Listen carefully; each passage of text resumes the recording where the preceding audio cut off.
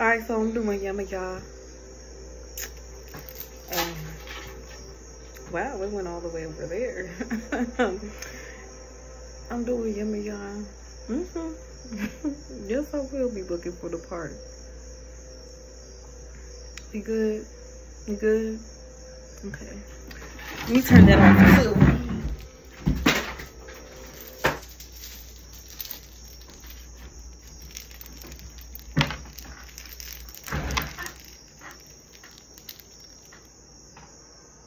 My earrings.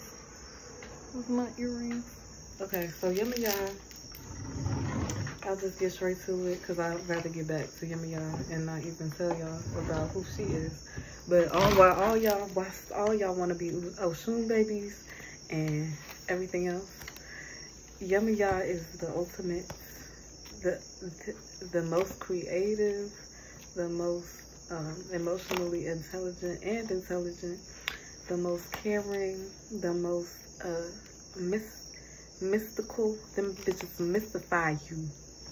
Them hoes will mystify you. Okay, um, but this is like what the third Orisha that we doing, and again, this is Yoruba, an African spiritual belief system that is ingrained in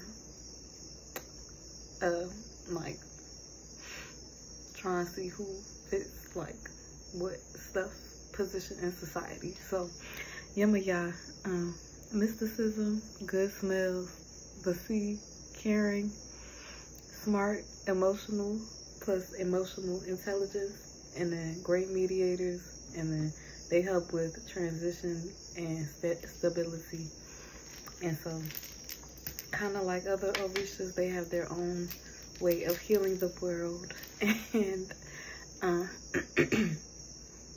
yeah. That's it. Have a good day. It's nighttime.